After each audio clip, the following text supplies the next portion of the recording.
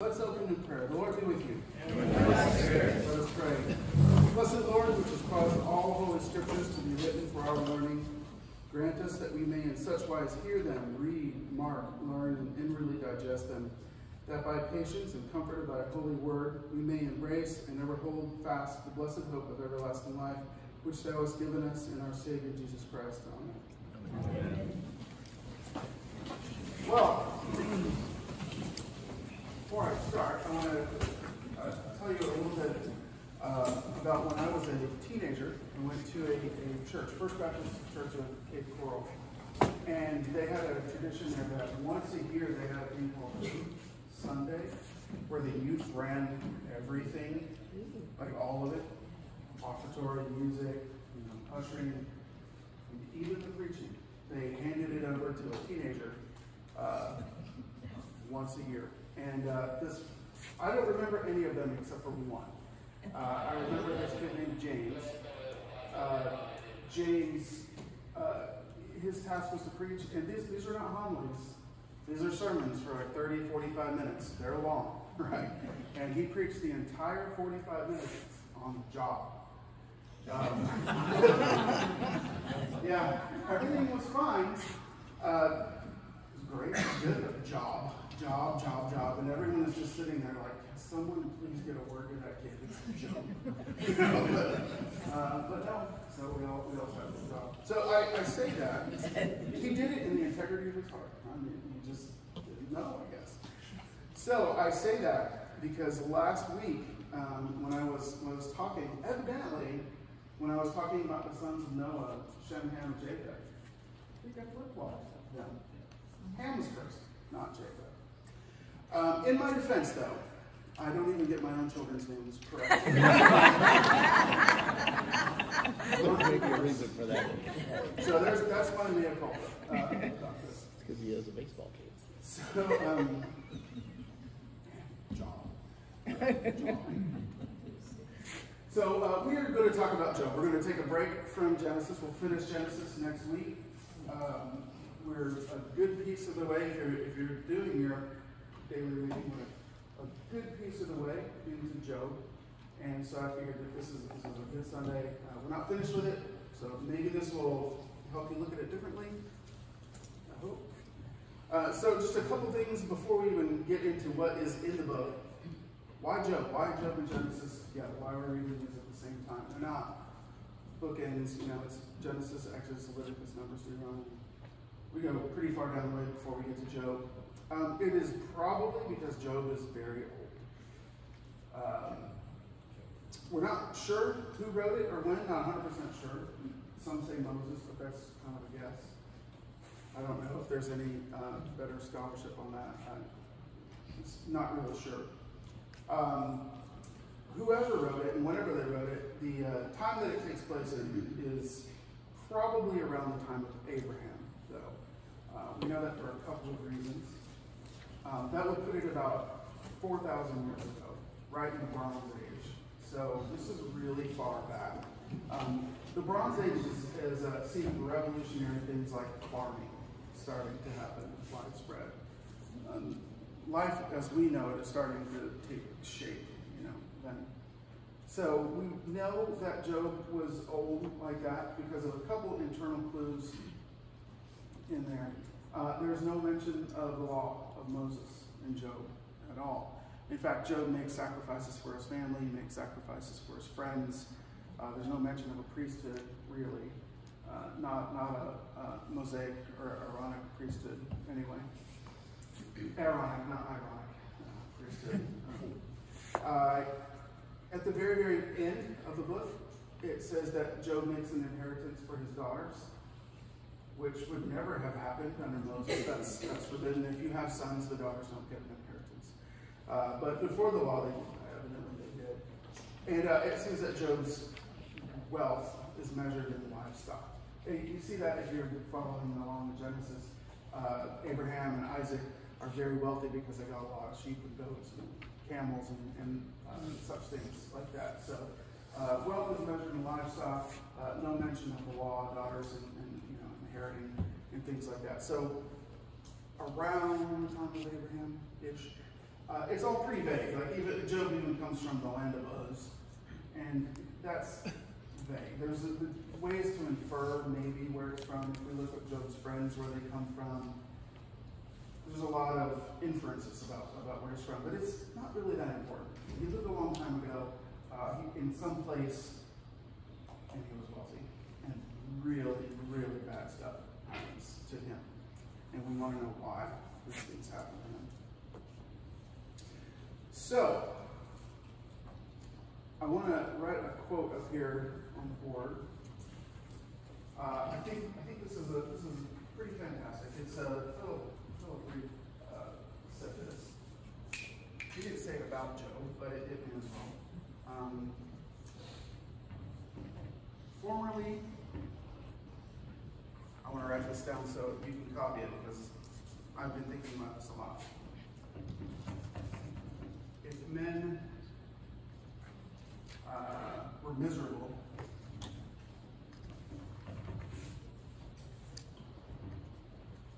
formerly, if men were miserable, they went to church. Okay.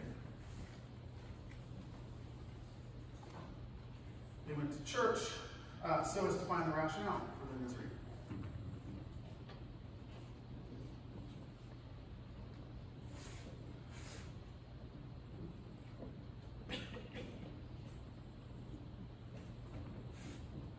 And here is um.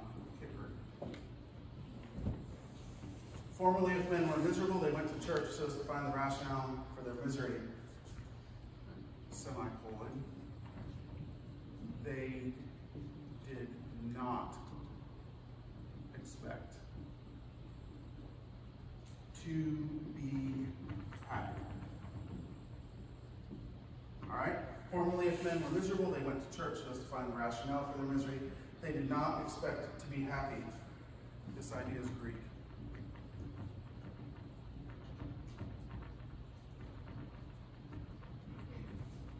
Not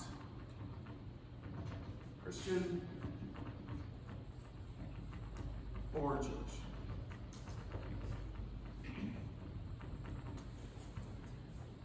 Formerly, if men were miserable, they went to church so as to find the rationale for their misery. They did not expect to be happy. This idea is Greek, not Christian or Jewish. Said that, um, I don't know, 60 years ago or something like that. I think that's important because as we read Job, Job asks all kinds of questions. Well, actually, he asks one question why? Um, he doesn't request for it all to be put right. He doesn't say, God, fix it. He doesn't say, God, make me feel better. He just says, why is this happening to me? And that's it. Um, I'm going to give you a big spoiler alert. God does not answer him. Doesn't tell him why, ever. And that's the whole question of the book. Why, why, why? Why is this happening to me? Why is this happening to me? Why did you do this to me? And God doesn't answer. We don't get the answer. Why? Uh, I suspect it's a little bit like Moses says the secret things of the Lord. He will not inquire after those things, but I'm not sure. Uh, the book is um, broken up into four parts. Let's do this. So Job's got chapters one and two as a sort of a prologue. That's where we find out that Job's a righteous man. He's one of the best guys in the you know in the world. He's uh, he loves God. He's got a good family. Satan hates him. You know, uh, we find that out in the prologue, uh, chapters three through thirty-seven. That's um, exchanges with his friends. Let's say uh, a series of speeches. Speeches and prayers. That's where uh, Job talks to his friends and they talk to him, and it gets very contentious um, at parts. Eventually, God responds.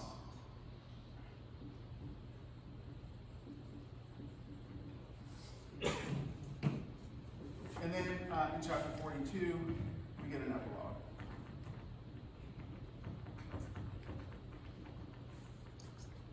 Okay? It's real, it's real nice, uh, real nice and uh, simple there. So, Job is, uh, is righteous. He, he does everything right so far as so far as we can tell. There's nothing obviously wrong with him. He's not an evil guy at all. Um, his children were not evil. Just growing up, though, I always kind of assumed they were really bad. You know, like they were having drunken revelries and orgies and everything like that. It's probably just because it said they were drinking wine, and that was enough for me I was. Like, oh, these guys are horrible sinners. Uh, it doesn't seem to be that way though, uh, because uh, Job sacrifices for them because he says perhaps they have secretly sinned in their hearts. There was nothing external going on for him to say these are guys are wild sinners. I'm going to sacrifice them. He's just like I don't know, maybe they did something secretly. I'm going to go ahead and try to cover for stuff that I can't see on the outside. So it's got to be family. In fact, they, they have regular family dinners. that was a different way of looking at it. I, when I'm reading the fathers commenting on this, they said they were in the habit of eating together because they were a good family. You know, they had family meals together. Um, so Job's living a good life. He's very wealthy. He's well respected. Uh, he pretty much has everything: good family, good good job, good position, uh, good reputation. And uh, Satan presents himself uh, before God with all the rest of the sons of God. Like you got the scene in heaven. There's this room, and everyone is. Um, it's like a.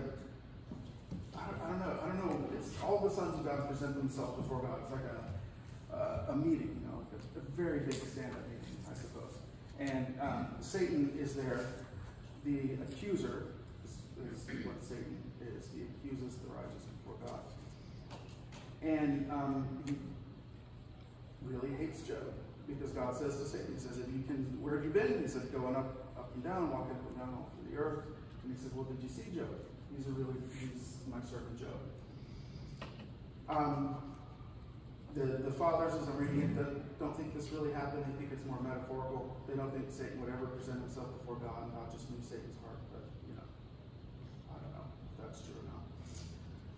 Um, and Satan says to God, he says, well, the only reason he's a good servant is because you've given him everything. You've blessed everything that he's done. Uh, he's got an easy life, great family. You take all that stuff away from him, he's going to hate you. You know, the only reason he loves you is because things are going pretty good for him right. And uh, for whatever reason, God says, okay, you can take away all of his stuff. Just don't touch him at all. Now, and then this is where the action of the story happens. Um, Satan makes some uh, assumptions, and uh, he, he assumes that Job only obeys and is only righteous because he's gaining from it. He, this is what he gets out of it. You know, you obey God, you get riches. You're righteous, you get happiness. It's a pretty good transaction if it works out that way. Satan assumes that's what's going on. And uh, he says if you take away the rewards, if you stop his paycheck, he's going to stop working for you. And God says, okay, uh, we'll see if that's true. Um, so uh, Satan goes, he takes away all of his livestock. You see that uh, as he takes things away, and the messengers come one right after the other to Job.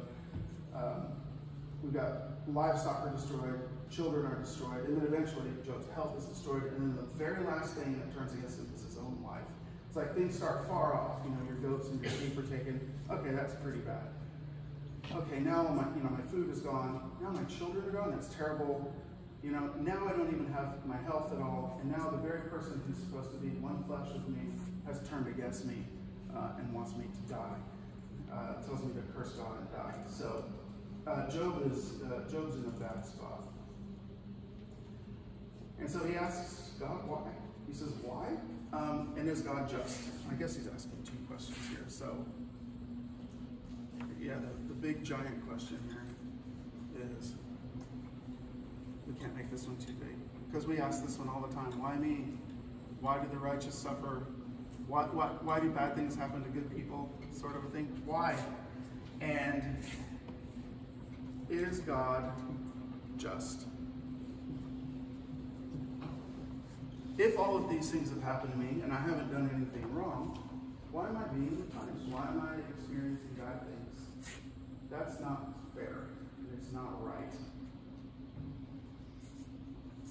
So there's some assumptions, I think, that are taking place here. And I think that Job's friends take these assumptions too. So when Job's friends, I guess friends should be really heavy air quotes here. Um, when they come, I, I love some of Job's responses to his friends. He goes, "Oh, surely when you die, all wisdom will go with you." You know, you guys are so smart. You know, but essentially with friends like you, who needs, you know, who needs enemies? Um, some comforters you guys are. So everyone is is uh, more or less making the same. Uh, everyone is more or less making the same assumption. So the us the assumption. This is one where you just assume. This is not the, the controversial one where Mary goes up, you know. the, the assumption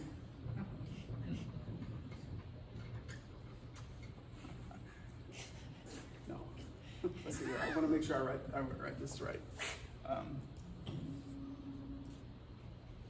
the assumption is, I want to make sure I, I, put this up right because I think it's pretty good. Our action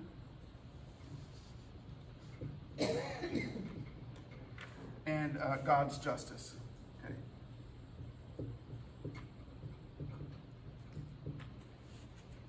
So our action is if we are wise and good,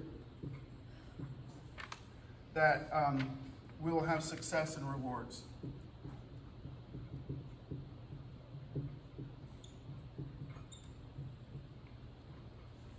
Okay? If we are foolish and evil, if we're foolish and evil, there's disaster and punishment.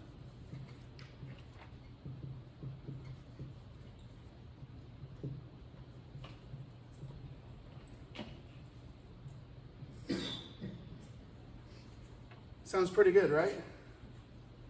We're wise and good, we'll be successful and rewarded. If we're foolish and evil, disaster and punishment follow right after that. That's what most of the book is found is bound um, is based on. Job more or less believes this, at least at first. Uh, Job's friends absolutely believe this, and Satan believes it too. So everyone believes this.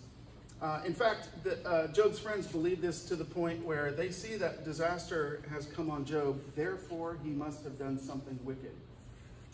And he says, I have not done anything wicked. And they say, Well, only you know how many lies you're telling to us. Uh, there's no way we could discover all of the lies that you're telling now. You've obviously done wicked things. How on earth could you accuse God of doing these things to you if you've not done wicked things? And Job says, No, I did not do these things. um, there's a deeper assumption here, though. Right, so this is like the, the surface assumption.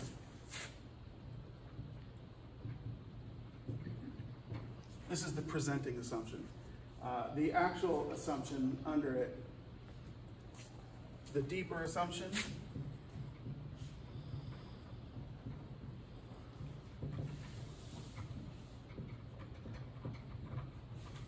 is we have the perspective to know.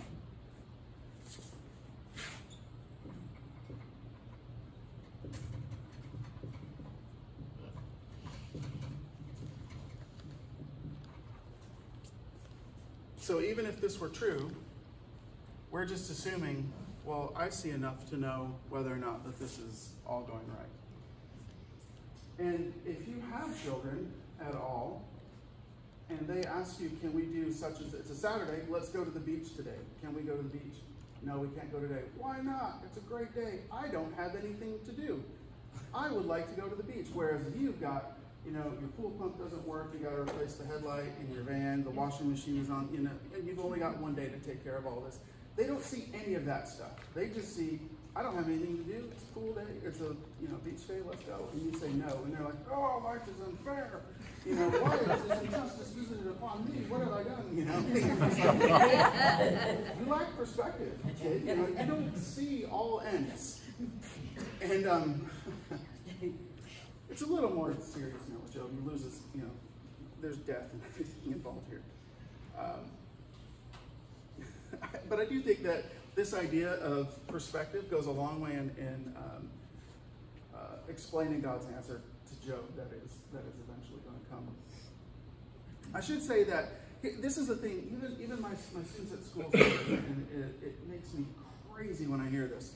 Job's friends uh, sort of believe in karma, you know, like uh, karma is a thoroughly Hindu idea. It is not Christian at all.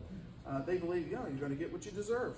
You know, do bad stuff, bad stuff comes back to you. You do good stuff, good stuff comes back to you. They, they believe this. I, so I, I assume that uh, his friends would have really approved of the idea of karma. Uh, and just sort of as an aside, at the very end, God threatens to kill Job's friends. Like he says, they've said everything wrong about me. Even though they spend the entire book trying to justify God and say, you know, Job, don't don't say these things about God. That it's not right. He's the judge of all. And at the very end, God is angry enough; He's ready to kill them all. Uh, and Job, who has said some truly terrible things about God, he says, Job has done right. Sacrifice for your friends so that I don't kill them. So uh, God's not a big believer in karma.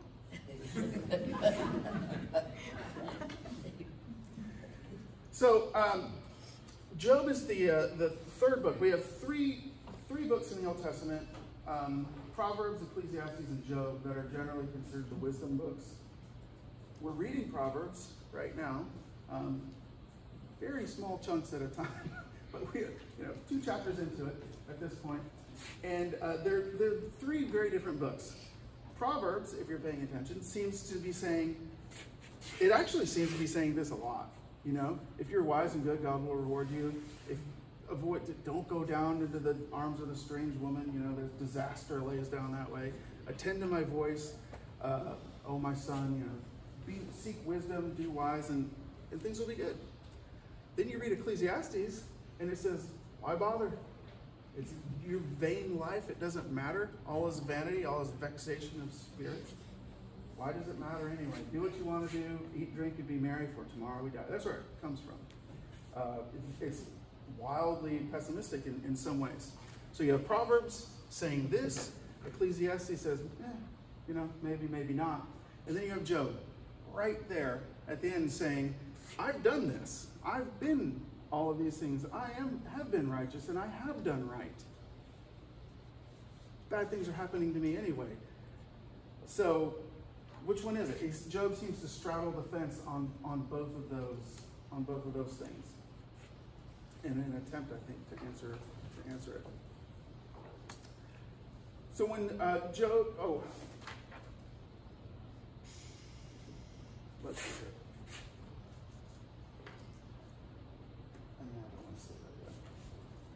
So when Job uh, is in the midst of all this, talking to his friends, you get some really um,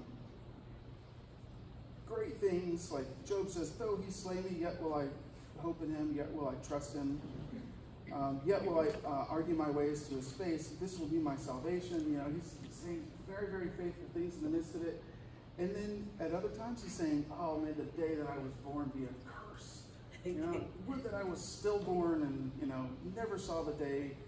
God is not just, he's not in charge. He, you know, uh, chapter 10 here, I think, is just about as, I don't know, sometimes you hear people say things and you're like, I wouldn't stand next to that guy in a thunderstorm. Like, that's about as, so, um, I will say, this is chapter 10. I will say to God, do not condemn me let me know why you contend against me. Does it seem good to you to oppress, to despise the work of your hands, and favor the designs of the wicked? Have you eyes of flesh? Do you see as a man sees? Are your days as the days of man, or your years as a man's years, that you seek out my iniquity and search for my sin?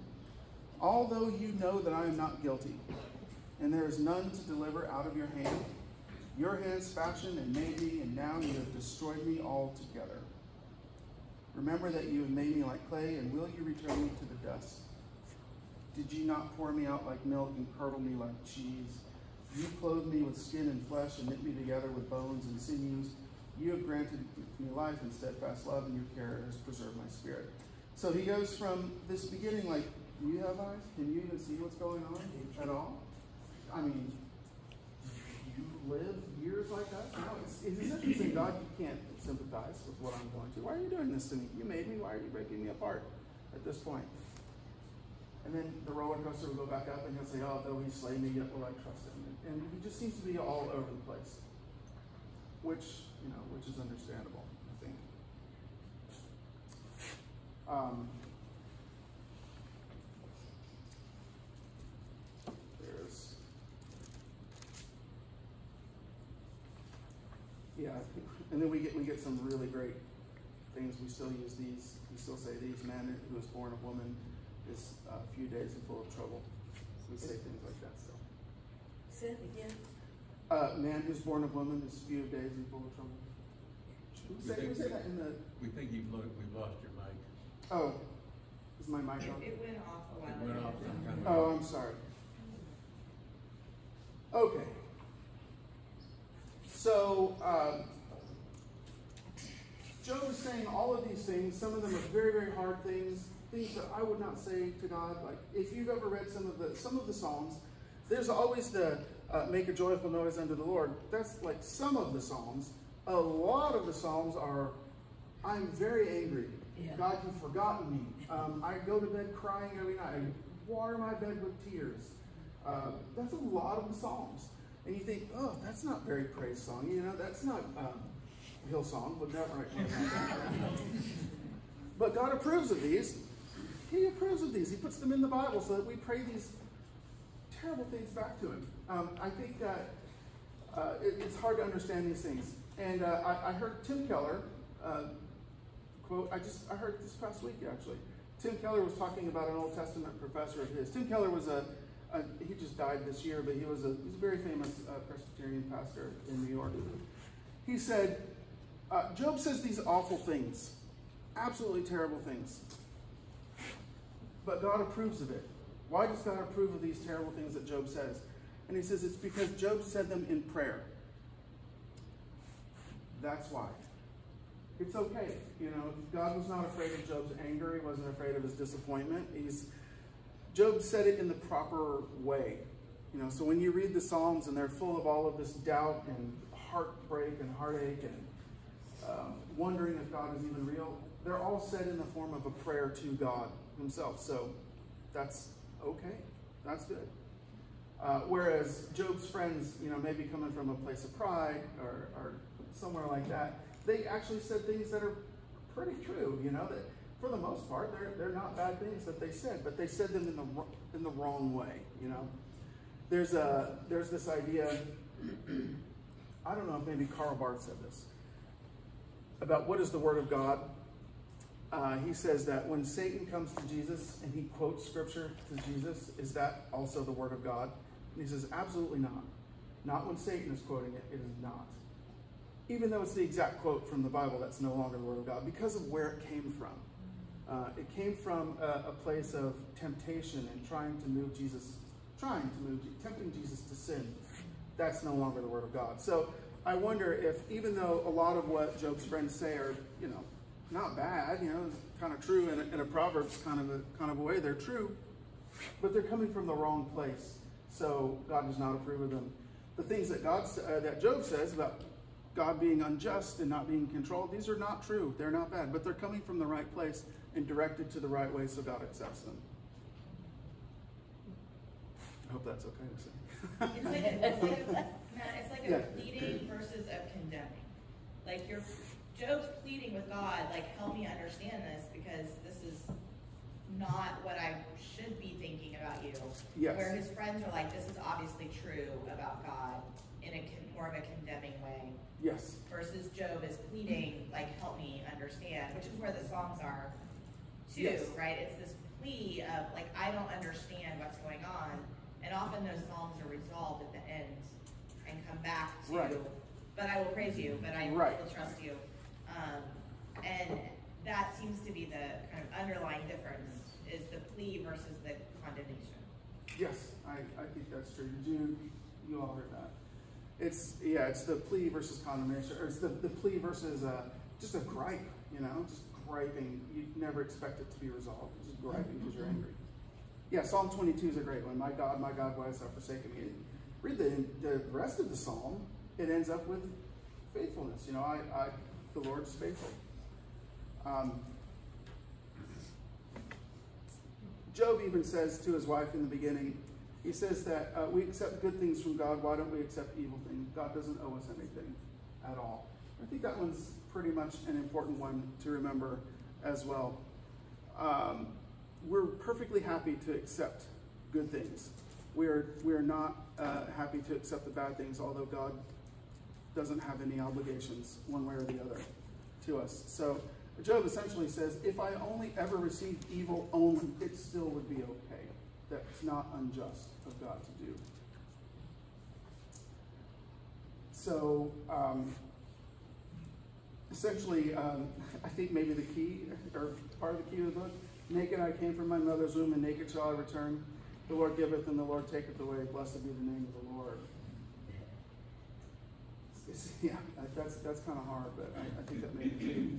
So eventually, God does answer Job after a fashion. Uh, it says, Then the Lord answered Job out of the whirlwind, and he said, Who is this that darkens counsel by words without knowledge? Dress for action, gird up your loins like a man. I will question you, and you will answer me. So God eventually does answer. But then his answer is two chapters, three chapters of do you know where ice comes from? Yes. Do you make the sunrise and the sunset? Where do the mountain goats give birth? How long are they pregnant? Who feeds them? What about the ravens? Where do they get their food? You know so much. Who's taking care of the stars in the sky? And Job, you know, eventually he's very, very humble and he just says, I've spoken and I won't speak again. You're right, I'm sorry. God is essentially saying, the washing machine is on the fritz. I've got to replace the headlight in the van. The pool pump doesn't work. The lawn needs to be mowed. You can't go to the beach today, and you don't need to know why. You're not taking care of everything. I'm taking care of everything, and you can't see all ends at all. Uh, I, I, think that this is this is uh, Job is, is flirting with uh, despair. The, the sin of despair is that you know all ends from the be- from where you are, and they're all evil. That's despair and it's a great, it's actually a great sin. Uh, it's one of the worst ones, and a lot of people don't uh, don't get out of it. It kills people. Despair does. And uh, God is essentially saying, don't despair because you don't see all ends. You don't know everything that's going on at all. And I don't owe you any explanations. I was told once when I was going through my own tribulations, I was told these by a priest that God purifies you when He puts you through trial, like the goldsmith puts gold into the fire to purify and get rid of the impurities. Yeah, you're you're being purged. Right. Yes, that is that is correct.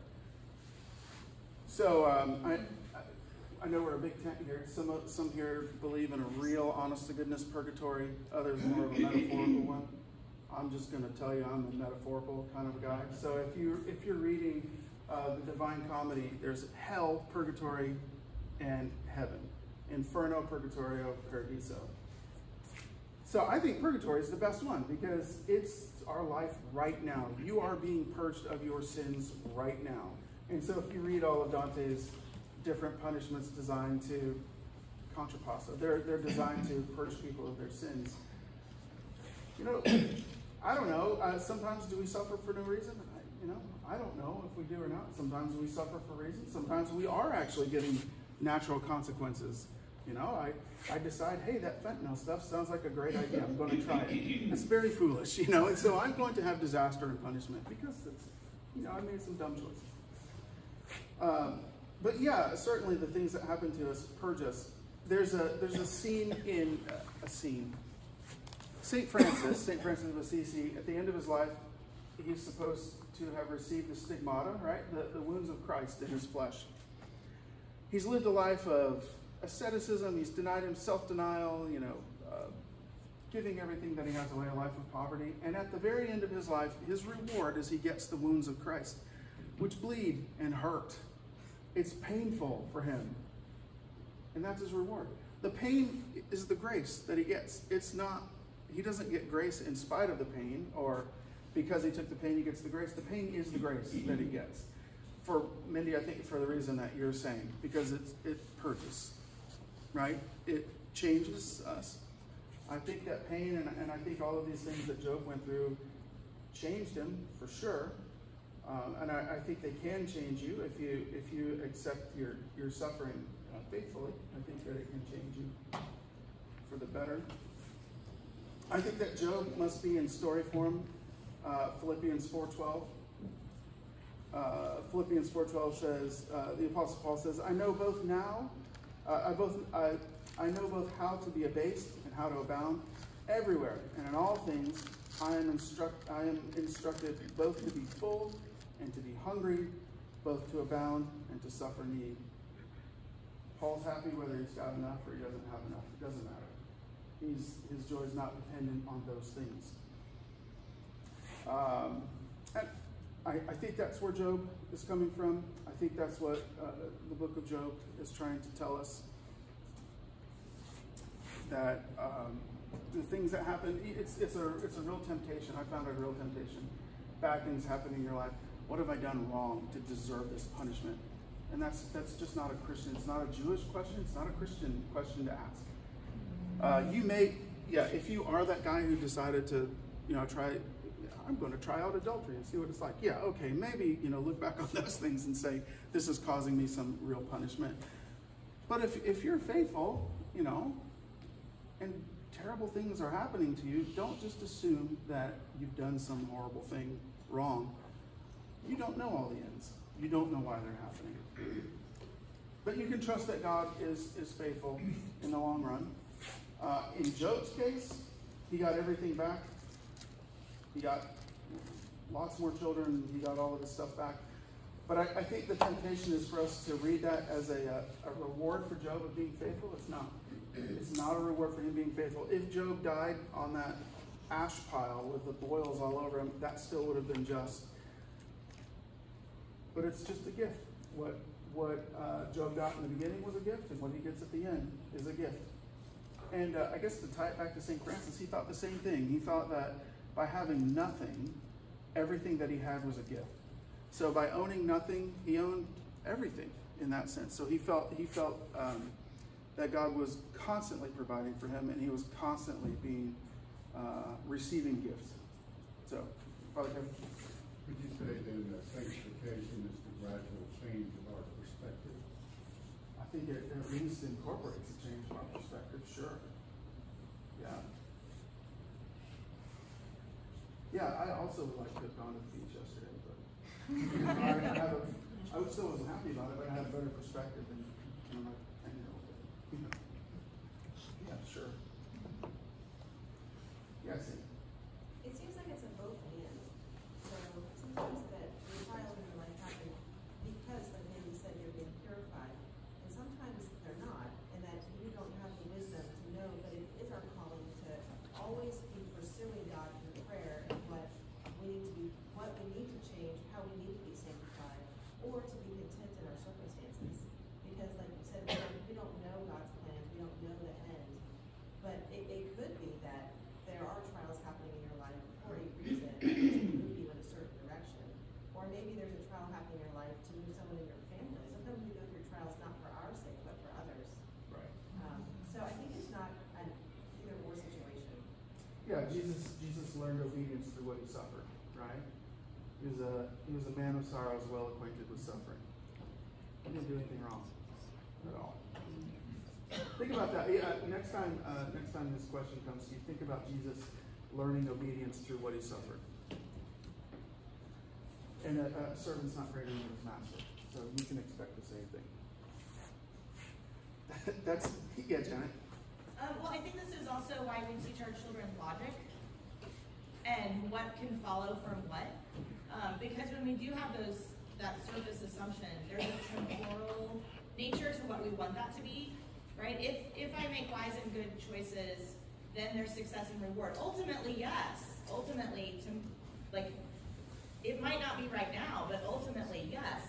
But we teach our children logic so that they don't fall into the if I have success and reward, then it must mean that I was wise and good, Right. right? Because our our mind wants that to be true, but it's not. No. And um, and that's part of the reason why we want to teach our children logic, so they don't fall into that trap of if there's disaster and punishment, it must have meant that's what his friends were doing, right? It's a it's a logical a logical fallacy that even if we believe if we're foolish and evil, we will have disaster and punishment, it doesn't translate to the other way around logically. Um, it doesn't work. No, it doesn't. Is Job a prototype of Jesus? Sure. Yes. It- yeah, yeah. You'll notice in the beginning when all of these terrible things happen, there's the, the little sign, and all of this Job did not sin. And then even more when his when his wife turns against him and says, I don't know about I don't know if the, I, I want to read into this, I really do, but I don't know if I should. It says, in all of this Job did not sin with his lips. You know, so I don't know. I don't know if it was inside, but yeah, uh, yeah, certainly the patience of Job. Job endures uh, endures suffering for sure, like like Jesus did, without sinning. And he does cry out. Jesus cried, "My God, my God, why have you forsaken me?" Even though he cries out very faithfully, because read all of Psalm 22, and that that's a, wonderfully um, reverent psalm. I think I will let everybody go. All right. Thank you. Next week we'll finish up Genesis. I promise. Half the book in, in uh, 45 minutes.